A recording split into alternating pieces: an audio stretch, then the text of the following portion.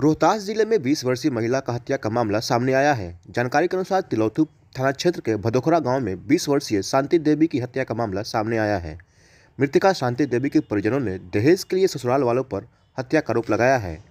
वहीं तिलौथू पुलिस ने शव को अपने कब्जे में लेकर पोस्टमार्टम के लिए सासाराम सदर अस्पताल में भेज दिया है। फ़िलहाल पुलिस मामले की छानबीन कर रही है। तो ये तो सर दो चार दिन पहले इस लड़की से बात हुई। पता चला था कि मैंने कि लोग वहाँ के मारपीट कर रहे हैं।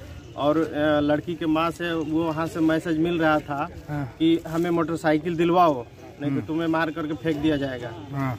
बार बार धमकियाँ मिल रही थी। हाँ। और उसको मैंने मैंने कल या यानी चौदह तारीख को पता चला तीन चार बजे साढ़े चार बजे के आसपास कि वो लड़की मर गई। अच्छा। सूचना मिला वहाँ से। तो हम लोग वहाँ गए तो देखे कि हाँ, सही में सही बात है कि वहाँ पे वो लड़की मैंने पड़ी हुई है हाँ। और उसको मैंने उसके घर में भी पूरा मैंने सामान रखा हुआ था। गदल वदल भी था मैंने राशि थी तार ओर था। और उसके बाद में फिर हम लोग प्रशासन को सूचना दिए हाँ। तो प्रशासन गए वो जाँच उच में करने लगे तो उसके गले में दाग निकला पूरा काला काला। हाँ। तो उसको हम लोग को कहना है कि वो फांसी लगा कर मैंने दहेज के लिए मैंने मोटरसाइकिल के लिए ही उसको मारा गया है। आपका नाम?